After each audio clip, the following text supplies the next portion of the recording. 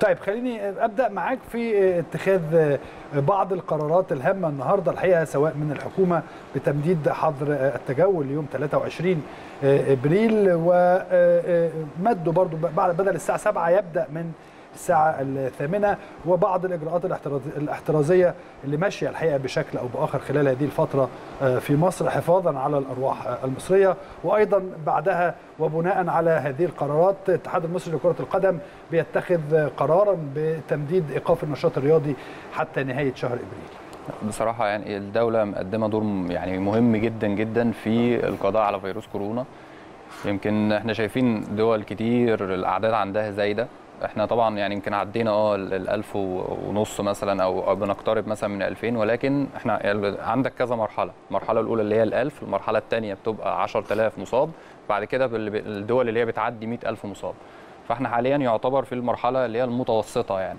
طبعا الدولة قايمة بدور كويس محترم جدا سواء الأطباء برضو التمريض المستشفيات بصفة عامة القطاع الطبي كله الصيادلة الجيش القوات المسلحة والشرطة قايمين بدور محترم جدا وشايفين توفير مستشفيات جديدة بيتم افتتاحها عنايات مركزة بيتم افتتاحها. برضو الدولة يعني يحسب ليها بصراحة إن الدولة المصرية قادرة على أو قادرة على مواجهة تلك الأزمة إدارة آه. تلك الأزمة الاستعداد لتلك الأزمة فدي حاجة مهمة جدا. فبصراحة الدولة مقدمه دور كبير جدا.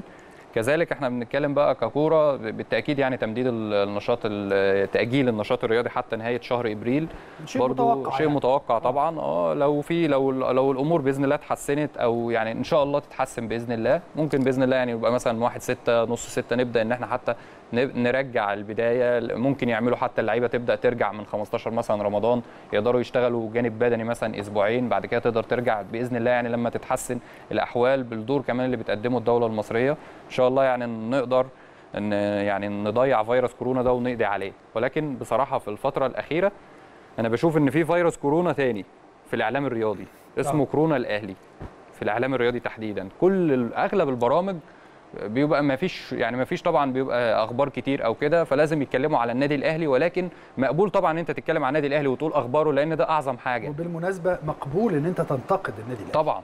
ولكن, ولكن بدون تجريح. ولكن بدون تجريح. مش م... انت النهارده حتى إحنا النهارده مخصصين الفقرة ديت تحديدا عشان بعض البرامج الكورونا المنتشرة في البرامج الرياضية عن النادي الأهلي تحديدا والتقليل من الرموز. في نجوم يا كابتن إسلام اختارت النادي الأهلي فأصبحوا أساطير والجمهور رفعتهم على الأعناق عشان اختارت النادي الأهلي. النجوم دي يعني الرمز رمز زي كابتن محمود الخطيب ده بصراحة ما ينفعش يعني ما ينفعش تجرح فيه ما ينفعش تغلط فيه. ده يوم اعتزاله الناس كانت بتعيط آه. يوم اعتزاله. ما ينفع رمز دا دايما حتة الرموز دي ما ينفعش إن أنت تقرب منها. ممكن عايز تنتقد في حاجة في الإدارة عايز تنتقد براحتك لكن يبقى الأسلوب لازم يكون بدون تجريح. آه. يمكن أول يعني هنتكلم طبعا على النجوم أول نجم